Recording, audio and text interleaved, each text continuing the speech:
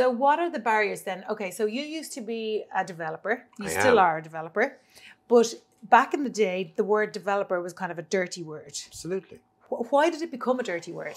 Well, uh, it came for two really old fashioned things jealousy and greed, because people saw the lifestyles of developers, which was completely funded by irrational exuberance of financial institutions.